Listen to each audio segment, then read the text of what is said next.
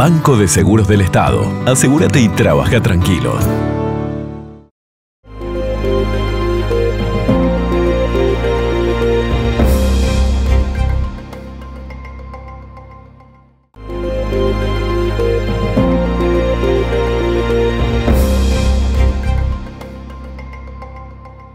Con Patricio Cortabarría, vicepresidente de la Asociación Rural del Uruguay,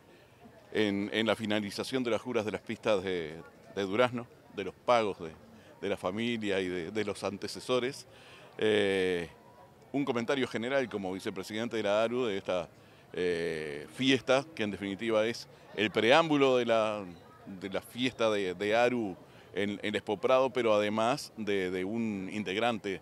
de, la ARU, como es la Sociedad Rural de Durazno. Sí, sin duda que un marco impresionante de, público, de, animales, de cabañas, este, un esfuerzo enorme con, un verano muy complejo, muy seco, este, que obviamente complica las preparaciones, pero sin embargo las cabañas, los cabañeros se pusieron este, la camiseta fuerte y llegaron con un nivel de preparo excelente, bueno, con, una calidad de animales muy buena, lo vimos en, las diferentes razas, también en, en ovinos, en yeguarizos,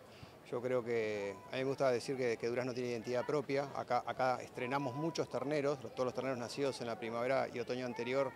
los ponemos a, consideración en esta, en esta pista y creo que es lo que tiene un gran sabor porque se está viendo lo que nació, lo más nuevo de la genética uruguaya, los padres que se utilizaron, los animales que vamos a estar viendo en el Prado durante uno o dos años para adelante por lo menos. Así que creo que, Durazno a mí me encanta, me encanta ver esos animales jóvenes debutando acá. Este, una exposición que, realmente se, disfruta mucho, generalmente con calor, pero bueno, este, hay, que, hay que pasarlo. Este, pero ya te digo, realmente impresionante con, este fin de año tan complicado desde el punto de vista con este déficit hídrico, cómo, llegaron una cantidad enorme de animales. La cabaña es de mucho más largo plazo que, seis meses. Este, y bueno, eso es lo que se nota acá, este, obviamente. Seguramente quizás si hubiera llovido mejor hubiéramos tenido algunos terneros más, quizás que son los que más sufren por la falta de leche de sus madres y eso.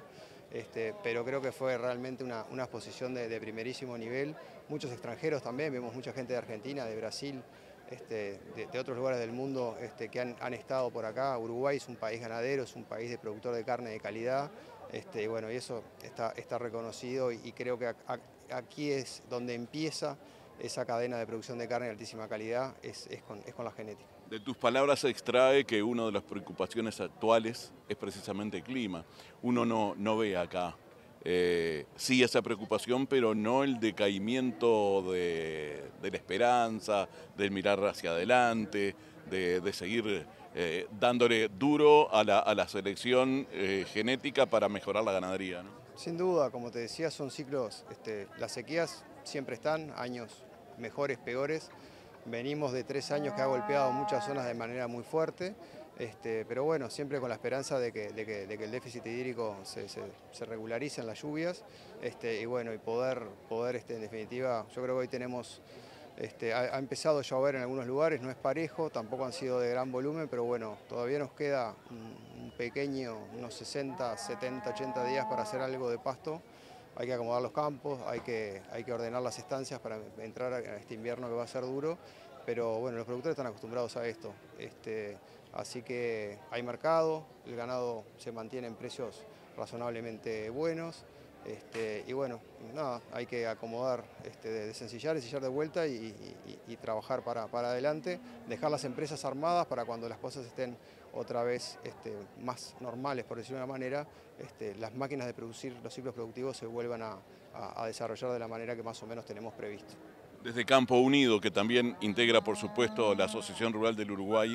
habían reclamado algunas medidas al gobierno para tratar de sobrellevar esta situación. El gobierno ha reaccionado, ¿ustedes entienden que lo suficiente? No, yo creo que hay, un montón de medidas, este, creo que, hay diferentes, para diferentes tipos de productores. Para los más chicos creo que la batería de medidas es, importante, es más fácil generalmente este, lograr las medidas para, ayudarlos. Este, y bueno, yo creo que hay, un montón de medidas, vimos medidas financieras, eh, bueno, eh, impuestos que se, se, atrasaron en, sus pagos. Bueno, yo creo que en definitiva este, yo veo por lo menos un, ánimo de, trabajar en conjunto, de dejar las empresas, como decíamos, este, obviamente que quizás un poco más chicas o, con un esquemita diferente por algún tiempo, pero que la máquina de producir se mantenga, se mantenga funcionando y en definitiva siempre, siempre pues se puede hacer algo más, por supuesto, pero por lo menos entiendo que, se ha ayudado de una manera este, bastante, bastante razonable, se han logrado medidas bastante razonables para, para los productores. Gracias por la nota, seguramente la próxima, no sé cuándo asumís la presidencia, pero probablemente ya como presidente. Sí, en la rural estamos bueno, en periodo electoral, este, ya se presentó la lista la cual encabezo con un grupo de, directivos realmente muy, muy, muy bueno, con gente... No hay puja por lo general, Bueno, ha, habido, hace, hace años que no sucede, este, pero no, creo que eso también muestra una unidad, muestra un trabajo de grupo. El presidente es uno porque, bueno, hay que tiene que haber un presidente y alguien tiene que, ser un poco la cara y la voz de la, de la rural desde el punto de vista comunicacional. Pero hay un enorme grupo de trabajo, la rural tiene integra un montón de delegaturas en diferentes institutos, en muchísimas comisiones, tiene un rol importante muchas veces en definición de, varias políticas agropecuarias y bueno, de eso se trata, de contar con gente capacitada, con gente que es generosa, porque pone su tiempo, su expertise, su cabeza para en pos de la, de la producción nacional, así que bueno, una lista con, con algunos nuevos, algunos este, con algunos años y otros con, más años, que también está bueno esa memoria institucional este, de tener este, en, la mesa diferentes generaciones que puedan dar este, diferentes experiencias, diferentes puntos de vista, diferentes ángulos de opinión para lograr,